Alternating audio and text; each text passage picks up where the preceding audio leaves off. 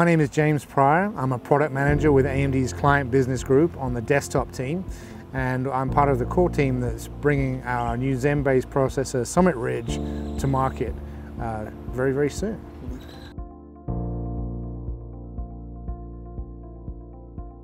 Zen architecture is our brand new grounds up design for x86. It's a CPU core designed to have a much, much higher IPC than anything you've seen from AMD before. 40% higher IPC than our current generation excavator cores. But in, in doing so, we're not gonna blow out the power budget. We're maintaining our 25 by 20 initiative to increase performance without reducing, uh, without reducing um, power issues. So we're going to uh, deliver a much more efficient core at the same time as more performance.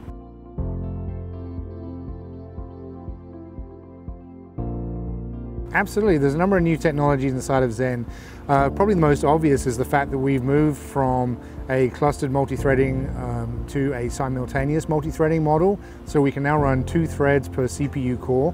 Um, it's, it's a, an established uh, design parameter. You've seen it in, in Sun SPARC, in IBM, and other competitor CPUs.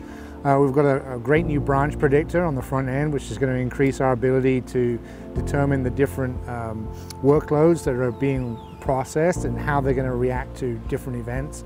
And that's going to give a big difference as well as our new high performance, low latency cache and memory subsystem, which is another area we really wanted to focus on improving so that when we have uh, data and uh, memory translations going on, that you get much more performance from the CPU and that happens. Yeah, we're very excited about the branch predictor. We've got a, hash perceptron neural net inside of there that's going to deliver some great intelligence into understanding the workload that's being loaded into the CPU, prefetching all those instructions, making sure that the, the tables are filled up so that we're not waiting on instruction decode, that those things are already done. And that we have repetitive code, especially in gaming, then you're going to have a very smooth and, and powerful experience because you've got a lot of performance right there because everything's already ready to go. For gamers, if you, classically branch prediction has been understood to solve the, the chess problem. The grandmaster, he sees all the moves on the board and then you go back and you understand it, whichever it is. You don't have to think about what your next move is because you already kind of understood what they are.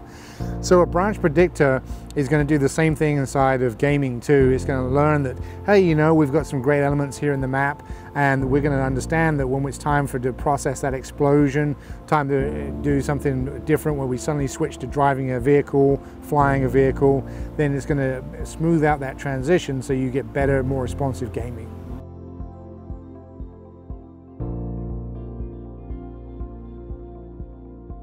They're very, very important. That's one of the reasons why we can't talk about them yet is we're waiting until the right moment to unveil those, those different bits of information. We will let you guys know before we go to market, but that day is not today, unfortunately.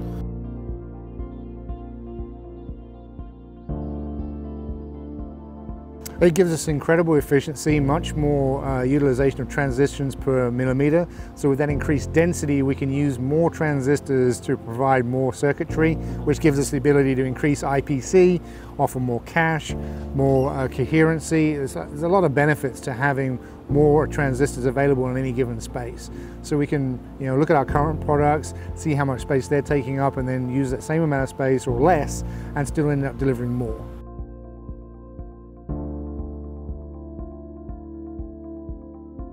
It was a very simple demo. We weren't trying to mislead anybody. It was simply that we wanted to show the performance of where we were in our bring up schedule, just kind of share the excitement of some of the results we're seeing. So it was core to core, clock to clock, thread to thread, identical clocks, so they're both set down at the same frequency.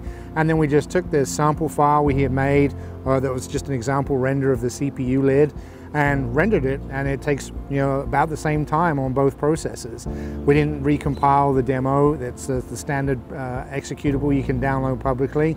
Um, so there wasn't any real secrets inside of that one, it was just a simple head-to-head, -head, this is where we are today. We just wanted to share the excitement.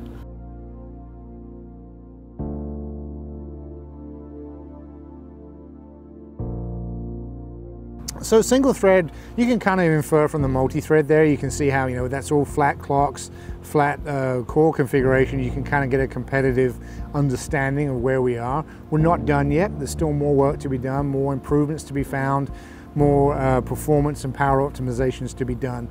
So single thread, I think you're going to be pleased with the improvements that you see versus excavator. Like I said, we're going up 40% over excavator, which should end up, you know, maybe 60% over the Piledriver cores you see in FX.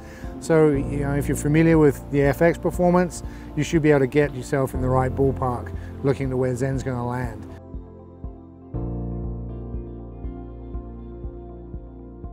That's certainly possible. We haven't fully uh, defined that state yet, so we're going to look at what it is to make sure we offer the best analysis of the workload using smart technologies inside of the CPU.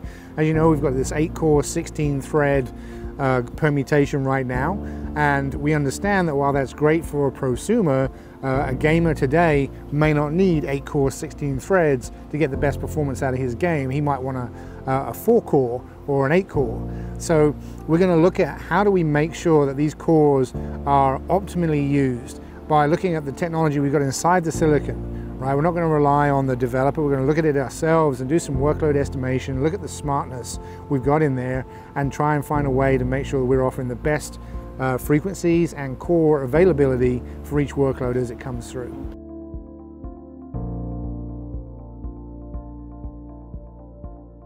Best case, we will see increased performance with lower TDP than our current performance gaming chips. We're committed to the 25 by 20 initiative, which is where we're going to increase the performance of our processors uh, at the same time as increasing the efficiency. So this is not a, uh, you either get more performance or you save power. We're going to do both in the same step with Zen. Um, too early to say on that one right now. We've still got a way to go on the motherboards and with the chips themselves to get that key learning going. We are engaged with the motherboard manufacturers to help them understand how this new technology and this new architecture works so they can give us the best capabilities they can.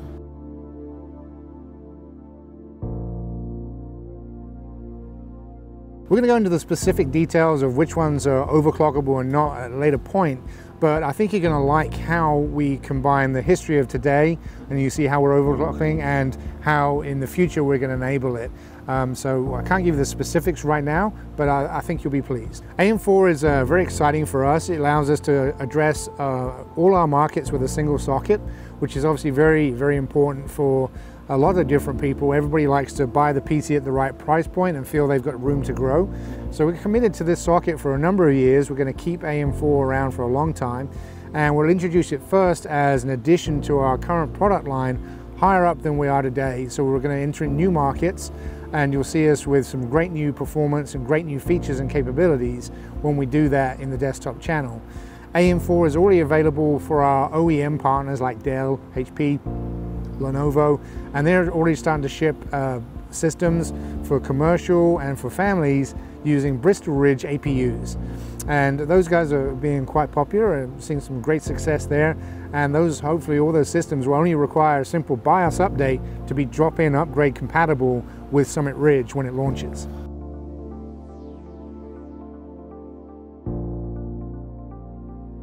Oh, well, there's a couple of problems there with you've got uh, economy of scale. As the volume uh, grows, then you'll see the price become uh, a little bit better. Uh, the, the, initial part of it, this reason why we introduced AM4 with OEMs first is those are the guys that have got the best cost advantage for DDR4 because they buy so much of it, right? If we'd gone straight to the consumer with Bristol Ridge, they'd be looking at higher prices for memory, for uh, performance levels than maybe they'd seen with our previous gen platform in DDR3. So we didn't want to do that. So we let the, the people who have the, the marketing and the uh, purchasing leverage use that to their advantage. So what you'll see is when these are available in the channel, then that price question won't be a problem because the, the market will have leveled.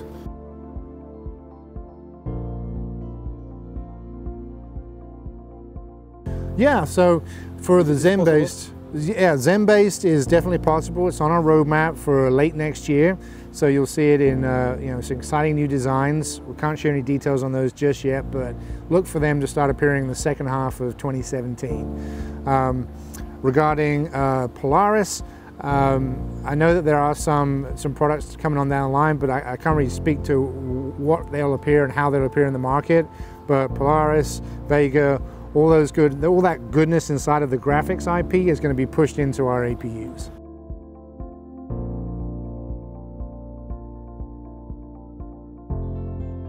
Well, it, it, depends on where you are right now. We're seeing um, with the transition from DirectX 11 to DirectX 12, a lot of games are getting a lot more performance on FX than we've ever seen before, right? There's a lot of games out there that you can see double the performance just by changing the API. And that should tell you that, you know, hey, maybe I wasn't limited by my CPU as much as I thought. It was the way the game was written and the API that was underneath it that was holding me back.